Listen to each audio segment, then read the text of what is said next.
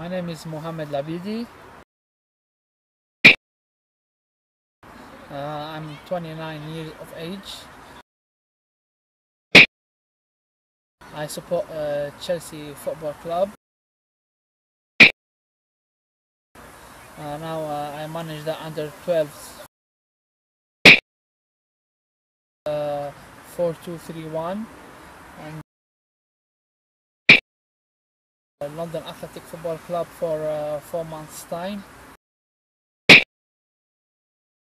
First, we're gonna try our hardest this season to be uh, first team and to jump the league. To go as far as we can in the cup competition.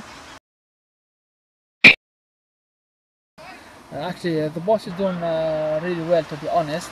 Uh, uh, one little thing, basically, what I, that I would change, slightly think, is uh, that uh, all the goalkeepers for uh, the, all uh, age groups, I wouldn't start them straight away with a goalkeeper manager to train straight away.